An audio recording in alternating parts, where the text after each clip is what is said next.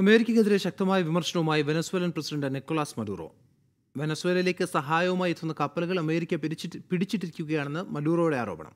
വെനസ്വേലയോടുള്ള അമേരിക്കയുടെ ശത്രുതാപരമായ മനോഭാവം ഒഴിവാക്കണമെന്നും മഡൂറോ പറഞ്ഞു. വെനസ്വേലയിലേക്ക് ഭക്ഷണ സാധനങ്ങളും പെട്രോളിയം ഉൽപ്പന്നങ്ങളുമായി എത്തിയ പതിനഞ്ചോളം കപ്പലുകൾ അമേരിക്ക പിടിച്ചിട്ടിരിക്കുകയാണെന്ന് നിക്കോളാസ് മഡൂറോ ആരോപിച്ചു. അപ്രഖ്യാപിത ഉപരോധമാണ് അമേരിക്കയുടെ ഭാഗത്തു നിന്നും വെനസ്വേല നേരിടുന്നതെന്നും മഡുറോ പറഞ്ഞു. കരാക്കസിൽ വെച്ച് നടന്ന സോഷ്യലിസ്റ്റ് പാർട്ടി ഓഫ് വെനസ്വേലയുടെ യോഗത്തിൽ പങ്കെടുത്ത് സംസാരിക്കുകയായിരുന്നു മഡുറോ. പല കപ്പലുകളും ഒരാഴ്ചയോളമായി കടലിനുള്ളിൽ പിടിച്ചിട്ട നിലയിലാണുള്ളത്. അതെല്ലാം രാജ്യത്തേക്കെത്തിയാൽ നിലവിലുള്ള പ്രതിസന്ധിയിൽ നിന്നും ഒരു പരിധിവരെ മറികടക്കാൻ വെനസ്വേലയ്ക്ക് കഴിയുമെന്നും മഡൂറോ പറഞ്ഞു.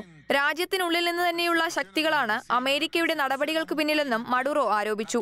പ്രസിഡന്റ് തെരഞ്ഞെടുപ്പിൽ മഡുറോയുടെ വിജയം അംഗീകരിക്കാൻ പ്രതിപക്ഷ നേതാവ് യുവാൻ ഗെയ്ഡോ തയ്യാറാവാത്തതിനെ തുടർന്നാണ് വെനസ്വേലയിൽ രാഷ്ട്രീയ പ്രതിസന്ധി ആരംഭിക്കുന്നത്. പിന്നാലെ ഗെയ്ഡോ സ്വയം പ്രസിഡന്റാണെന്ന് പ്രഖ്യാപിച്ചിരുന്നു. ഇതിന് അമേരിക്ക പിന്തുണ നൽകി. International desk twenty